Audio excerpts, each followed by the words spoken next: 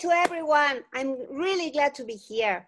On behalf of Dr. Raul Carrillo Esper, who is the president of the SOMETH, that is the Mexican Society for Thrombosis and Hemostasis, I would like to share some few words with you. My name is Maria Rubio, and I'm a hematologist, uh, and I'm in Mexico. First of all, against all odds, uh, we will share this wonderful meeting uh, and although we cannot do it in presence, we will enjoy it as always. ISTH has helped a lot Mexico and had shared the need for a different way of working, especially on these days. Anyhow, there are a lot of specialties and people used to work by their own. Working as teams showed an increase in possibilities for patients in the world of bleeding and thrombosis. The best way to treat patients with this kind of problems is by sharing and working as multidisciplinary teams. So, proudly, I want to introduce to you uh, a recently formed group of people, a new society that includes not only physicians, uh, each can, every, every physician who has to deal with bleeding and thrombosis, but nurses, rehabilitators, laboratory people, geneticists, and other scientific teams, as well as young residents working in our country to sensitize everybody, even the open population, to care for bleeding and thrombosis that can be prevented and improved with specific actions.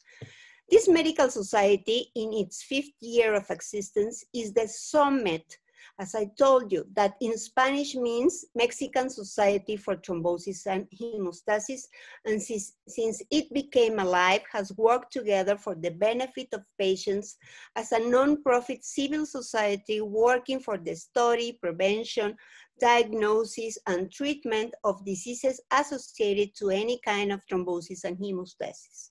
Our main goals are to have an academic forum for interchange and have a national release network, uh, work for scientific activities with national and, and international societies as well as other kind of organizations. A very important part of our objectives, obviously, is to educate about the importance of recognizing thrombosis and bleeding risks, developing materials and coordinating different strategies uh, and we have made several programs to do so.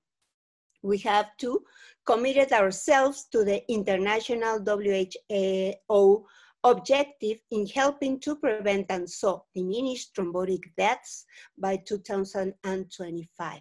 We are working with our government, uh, the Senate, in order to have specific initiatives for reducing thrombotic deaths, official uh, Mexican norm that can work nationwide thanks. Thanks a lot for uh, share, uh, let us share this information with you and be part of the global movements against thrombosis.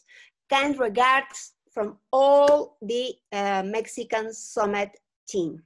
Thanks a lot.